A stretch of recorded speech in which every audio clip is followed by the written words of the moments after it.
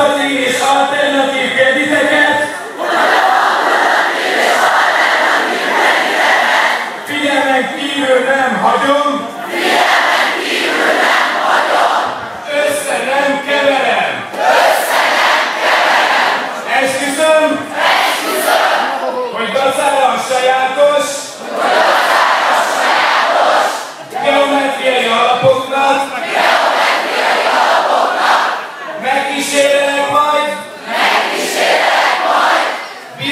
lelki előírásokat figyelembe véve,